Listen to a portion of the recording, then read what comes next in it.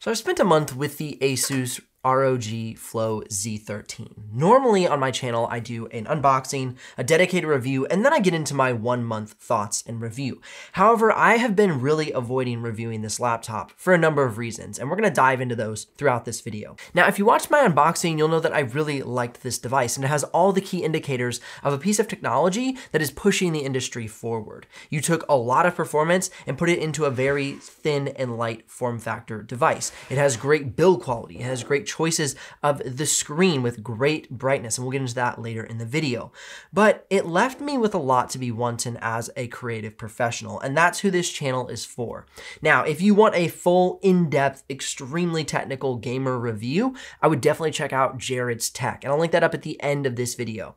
But I'm gonna approach this from the needs of a creative professional and how I think this device misses the mark and hits the mark. All right, so let's dive right in. The model that I have is the top of the line i9-12900H with the RTX 3050 Ti, one terabyte of storage, and 16 gigs of RAM. Now, first off, right off the bat, I wish that we had 32 gigs of RAM on a device of this price point. and since it has other components that are of a higher SKU. So you have an i9, you have an RTX 3050 Ti.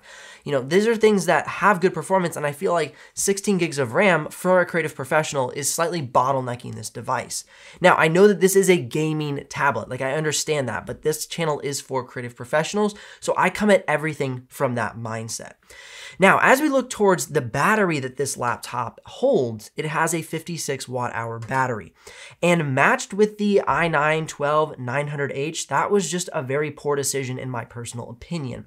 I think this laptop would have been far better suited with a Ryzen 9 6900HS, which provides far better power consumption. The 12900H is just very poor in efficiency. As you can see, the results coming up on the screen now, it didn't even hit seven hours of battery life on the Passmark productivity test. Now, compared to the latest Asus Republic of Gamer Zephyrus G14, which I have been launching reviews on recently, that is half of the battery life. And to me, that is just unacceptable on a device that is supposed to be an on-the-go friendly device. I know that this is a thin and light form factor and has so much innovation and technology in it. And I am a huge Asus fan. If you've been watching my channel recently, I have done nothing but praise the evolution and technology that they've been doing for us in the industry. I really, really value and appreciate their devices. However, for me as a creative professional, being able to be on the go with my workflow, that rhymed, I think that this is a bottleneck in the user experience. I think they could have made a better decision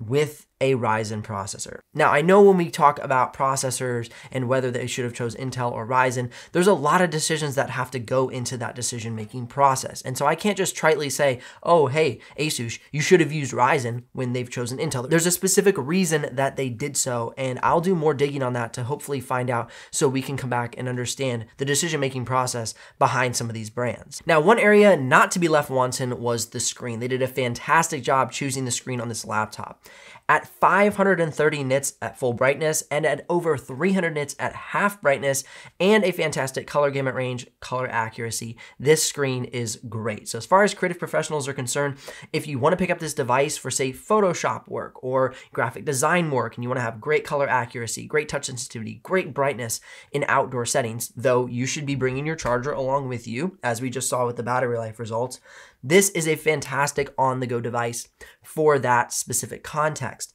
I love the keyboard on this laptop not a laptop, tablet. I love the keyboard on this tablet. The trackpad is great for the small form factor. However, truly, I wish it was a little bit bigger. I kind of wish that though this is a 13 by 10 aspect ratio screen, it might have been a slight bit taller to have a slightly larger trackpad if we're talking about the application of Creative Professional, which I am.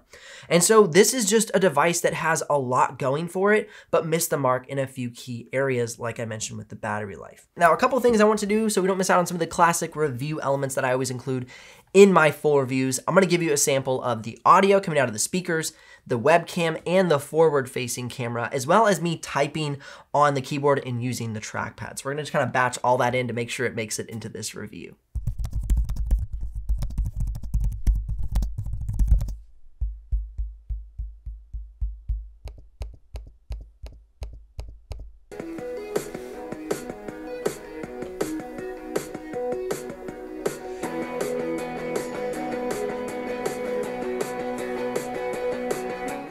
This is a sample of the webcam on the Z13 and a little bit of audio for you as well.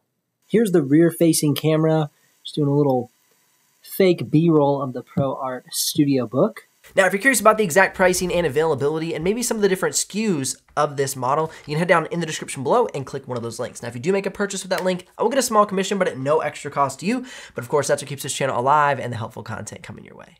Now, let's move forward into the performance section. And I know we're kind of jumping right to that, but I really want to discuss that uh, before we get too long winded in this initial section. Okay, now, first and foremost, this laptop looks great in simulated benchmarks. It hits all of the top of the charts with Cinebench R20, R23, Geekbench single core, and Geekbench multi core. It nails it all. And that's why I think they made a great pick with the i9 12900H in regards to gaming performance, because this laptop can also be complemented with an RTX 3080 external GPU, the XG Mobile. And so for gamers, this makes a ton of sense. You have a nice light on the go package, so you can even be doing your work for school. It has about six and a half hours of battery life for productivity tasks, so you know that'll last you almost all day of classes.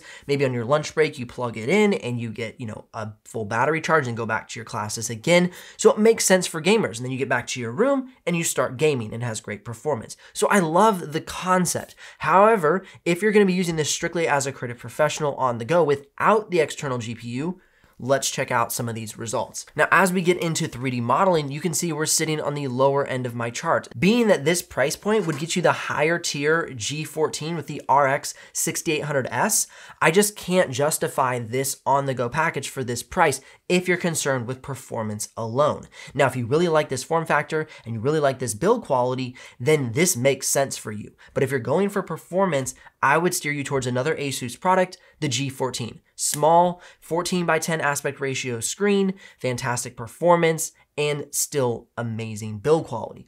So that's where we're looking at right now here for creative professionals.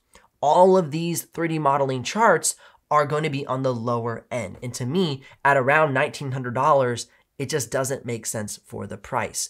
Now, what I would probably do personally, if I were gonna spend this type of money and get this type of performance, I would go for something a lot more budget friendly, like an Asus TUF gaming laptop, and then buy like an iPad or some sort of Android tablet device, right? So you could have both great on the go friendliness, great battery life for your school projects, and then you go back to your room and you have a budget friendly gaming laptop that would get this same performance. You're gonna spend about the exact same money, but get a better overall experience. Okay, I think that this tablet is setting the precedent for future devices. But do I think this tablet personally right now fits the needs of creative professionals?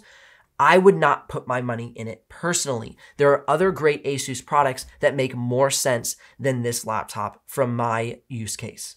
And I'm really emphasizing my use case because that is very different from a gamer who could have such great performance with this product. All right, let's move forward to some more practical uh, benchmarks. Let's look at the Puget After Effects benchmark.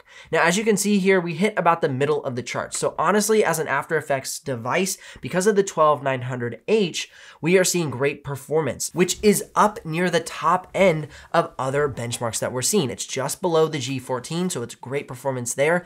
And so this would make a great After Effects device. However, when I think about the usability of on the go, the battery life is something that concerns me.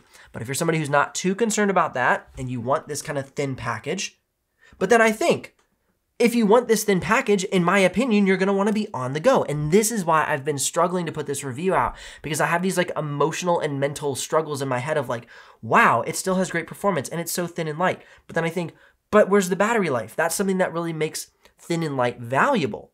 Now you see why I've like, this review is gonna be way longer than it needs to because I'm just so torn inside.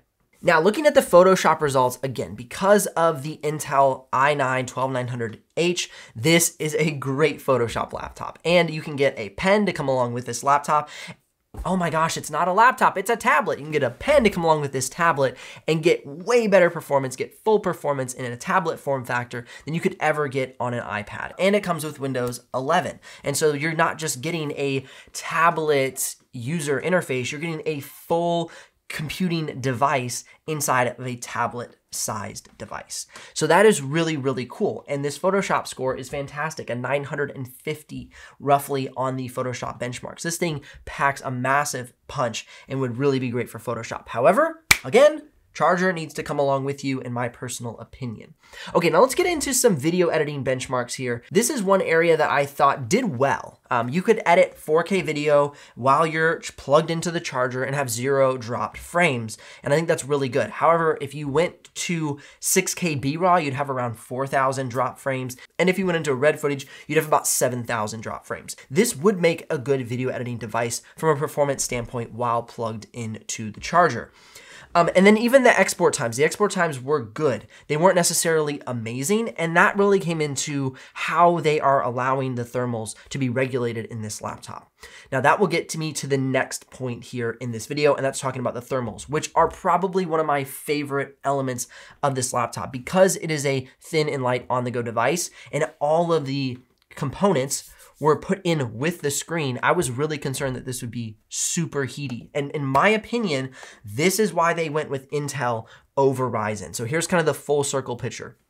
Intel has done historically a much better job of cooling their components inside of a device. While doing a 4K export out of Premiere Pro, we saw stellar thermal results. I never saw above 62 degrees Celsius out of this device. That is fantastic. And on top of that, I never saw above 43 decibels of fan noise out of this device. So it runs cool, it runs quiet, and it has great export times. And so again, like I said, I love the device for where Asus is pushing the industry. I love the device for the decisions they made that were good. However, there's a number of decisions that were made that contradicted themselves. You chose Intel, in my opinion, because it had great thermal temperatures and the ability to regulate the thermals while having also good fan noise and great performance. However, you're sacrificing battery life because, as we've seen, the Ryzen 9 6900HS processor does much better with efficiency of power. Again, I think you're seeing how I struggled so much to put this review of this device out on my channel. I need to take a drink of tea. As I mentioned earlier in the video, I would not personally buy this device. To me, it doesn't check enough boxes at the price point to make sense. It is on-the-go friendly from a form factor standpoint, but it is not necessarily on-the-go friendly from a battery life standpoint. Does it have the performance you need as a creative professional? In regards to video editing, Photoshop, and After Effects, yes. In regards to 3D modeling without the external GPU, no. So there's just this, this gap in what I want out of this device and what this device provides me. It doesn't check enough boxes, as I just said. I think this device tried to do both, and for creative professionals, I think it just barely missed the mark. And I have great anticipation and hope that Asus is going to improve upon this and give us something fantastic in a future iteration.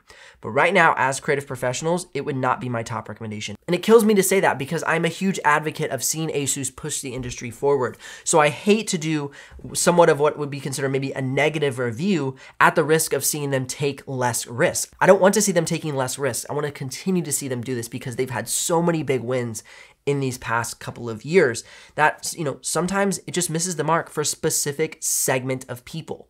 Didn't mean it necessarily missed the mark for gamers. I think this device could be a really great fit for a lot of different people wanting to have a laptop for their student work and for gaming. Okay, before I go on and on and on, because I feel like I will continue to, links if you're ready to make a purchase, likes if this video has brought you some value, and subs if you don't miss out on the future uploads. I'll see you here in the next one.